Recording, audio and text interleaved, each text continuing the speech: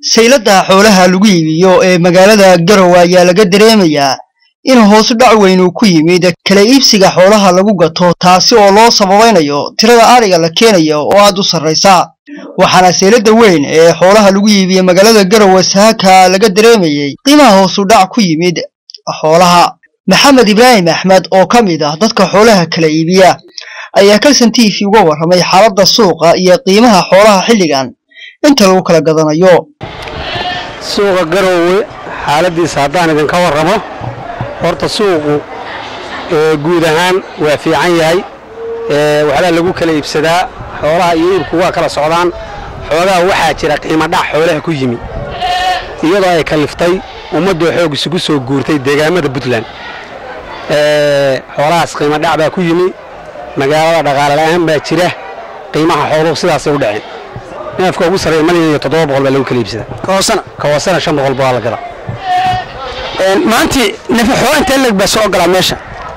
Adigu maantii ugu yaraan waxaa soo galaa afar afar boqoloo neef. Adigu ilaa saddex boqol waa baxdaa ilaa saddex boqol iyo bar. Maxamed ibraahim ayaa dowladda hoose degmada garowe iyo wasaaradda xanaanada xoolaha puntland ku booriyey in suuqa xaaladiisa ay la socdaan. Dhanka caafimaadka xoolaha iyo nadaafadda suuqa oo u baahan in la kontaroolo xoolaha maadaama ummaddu aad isugu soo guurtay xooluhu say u badan yihiin waa jiran yihiin. Dawo iyo daryeelka ay rabaanna ma helaan. Waxaa kaloo jirta annaga suuqa haddaannu joogno suuqa nadaafadiisu aad bay u xun tahay. Xagga macnaha nimanka dawladda ama kuwa dawladda hoose ama xanaanada xoolaha waxaannu ka tabaynaa waxyaabo badan oo dhaliila. Oo ay ka mid yihiin nadaafad xumo. Digada waxaa laga yaabaa inaan shan bilood la gurin oo ay halkaa iska taal oo xajiin xooluhu ugu baktaan iyo dadkuba cabdi maxamed waa mid ka mid ah dadka reer guuraaga ay u soo iibgeystaa suuqa xoolaha garowe. Wuxuuna ka hadlayaa waxa uu kala kulmay sayladda xoolaha. Shan beri baan hadda jooga lacagtana weli ma hayo. Hawd kasta aan rajeeye wixii yaro aan goorta lacagta haddaan helo waa ku qanacsanaan lahaa lacagtii baan habraha magaalada ka helay. Yaa.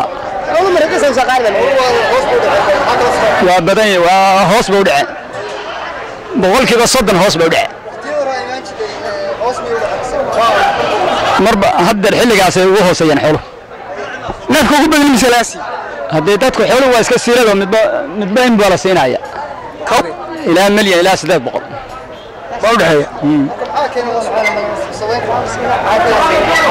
Haddee waa wax iska saac iska yimi wey wax iska yimi wey hodan warsame oo ka mid ah haweenka ka ganacsataa xoolaha ayaa iyana ka warantay sida u aragto hoosu dhaca ku yimid qiimaha xoolaha. Neefka ugu waa neefka buurani mar walba waa lacag badan yahay waa milyan shan boqol qaar baa ilaa laba milyan gaara. Neefka raqiiskaana waa milyan milyan iyo laba boqol caadiga ah. Toddoba boqol baa ugu hooseysa iibka ariga wadankan lacag oolin mididaas unbaa lacagta lagu keenayaa lacagtii mididiina wataa waa laga ambaaldhacay shirkado iyo wax xoolaha ka iibsadaan may haystaan. Amigii baa la keenayaa orgiyadii qaymbaarkaa baa la keenayaa riyihii baa la keenayaa. Kulli haweenkaa loo dhiibayaa soo qalaya. Saylada suuqa xoolaha magaalada garowe ayaa xilligan laga dareemayaa inay ku soo qulqulayaan xoolo fara badan kuwaasoo laga keenayo dhulka hawdka. Waxaana maalintii la keenaa sida ay noo sheegeen dulaalintu xoolo gaaraya afar boqol oo neef cabdixamiid salaabare kalson t v garowe